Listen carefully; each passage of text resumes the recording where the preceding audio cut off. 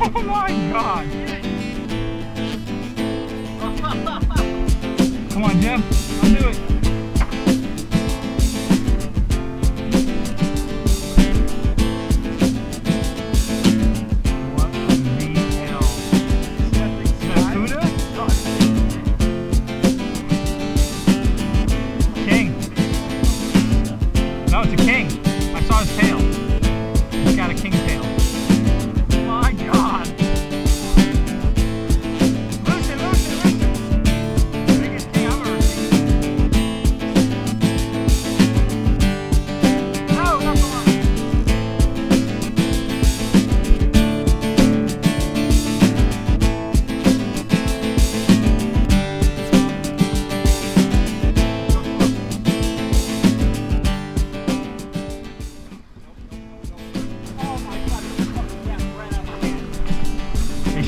still stuck in them.